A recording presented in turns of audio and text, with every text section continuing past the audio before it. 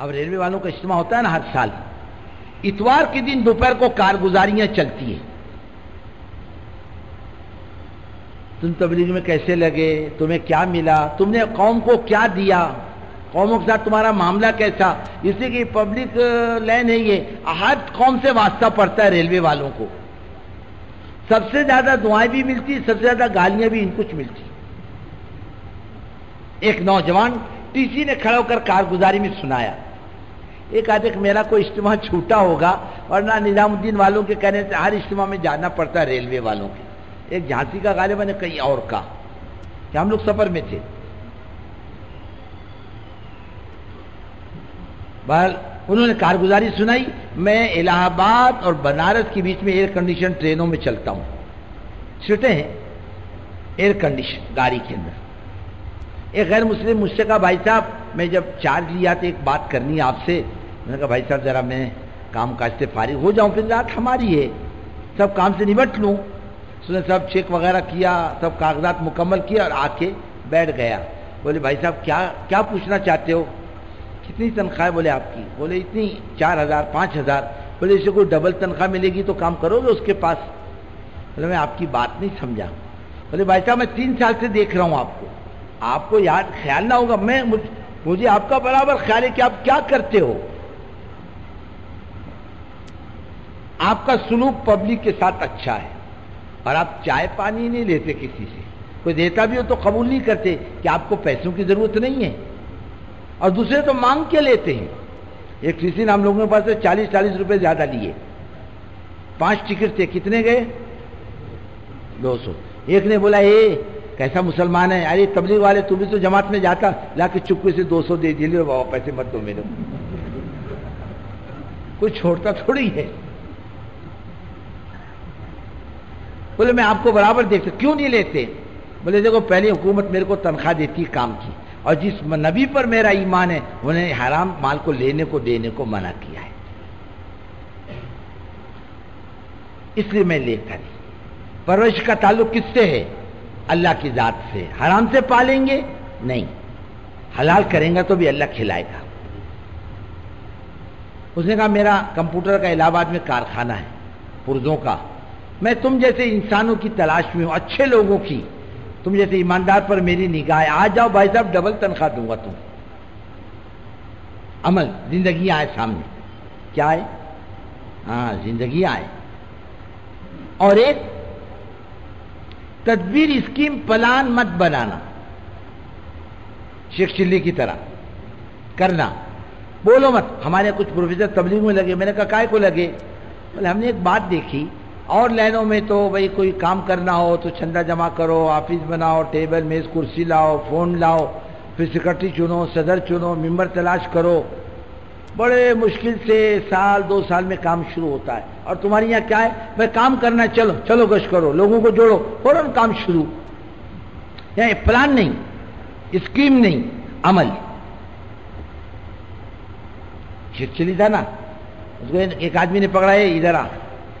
चल शहद का मटका लेके चल मेरे घर पर। चार आने दूँगा तेरे को मजदूरी।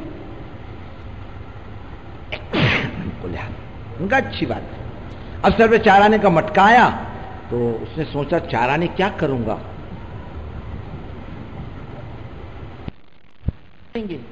वो बड़े हो जाएँगे तो उनको बेचूँगा, फिर बकरी लूँगा। फिर बकरी दो चार हो जाएँगी, उसको बेचूँगा, गाय लूँगा। फिर दो चार गाय हो जाएगी, वो बेच करके भैंस लूँगा। एक भैंस, दो भैंस। भैंस वाला सेठ कहलाऊँगा, दूध वाला सेठ कहलाऊँगा। और भिवंडी के बड़े सेठ की लड़की से मेरी शादी हो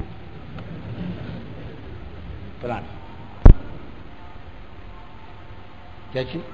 प्लान। चल रहा।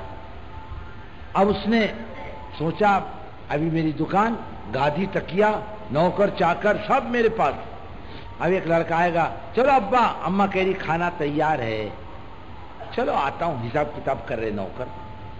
फिर दूसरा आएगा, चलो, माँ याद कर रही, खाना ठंडा हो रहा तो चलो आता हूँ। फिर तीसरा आएगा, चलो, माँ, नाराज़ हो रही, खाना ठंडा हो रहा, ऐसा है, वैसा है। नाला एक कम वक्त कहीं का काम नहीं देखता, कुछ भी नहीं, चलो खाने को। जाता नहीं जाता।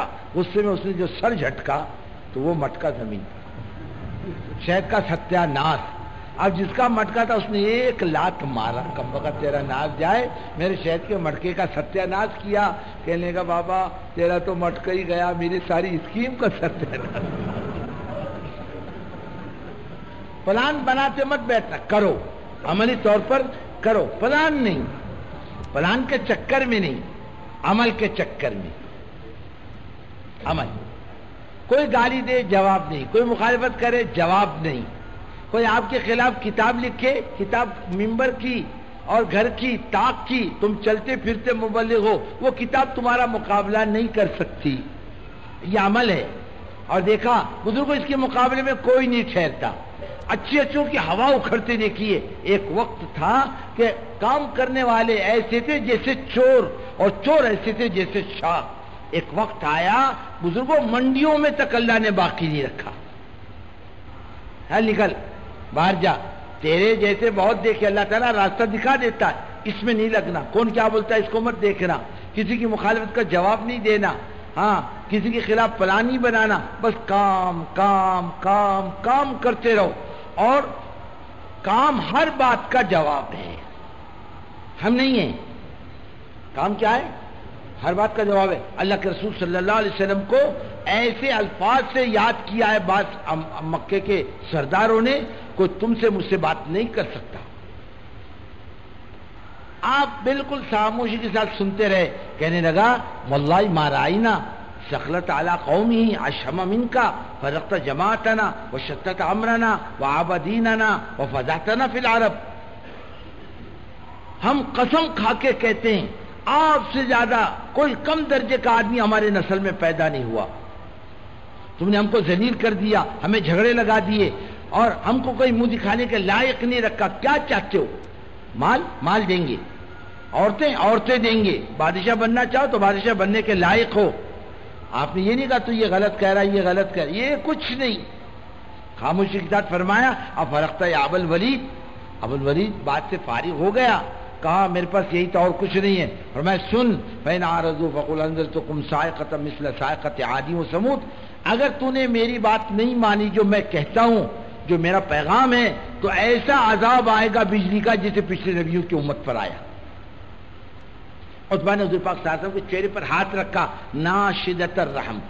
सिला रहमी का वास्ता, खामोश रहो। अब चुप हो गए, वापस आया।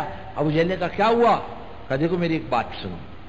अगर मैं उनके मुँह पर हाथ नहीं रखता, आगे की बात कहते, मुझे यकीन था खुदा का आजाब आता तुम पर। इस, इनको छोड़ दो अपने हाल पर। अगर ये कामयाब हो गए तो तुम्हारी भी इज़्ज़त है। अगर ये नाकामयाब हो गए, तुम तो कह रहे हो कि तुम मत करो, तुम्हारी बात रह जाएगी।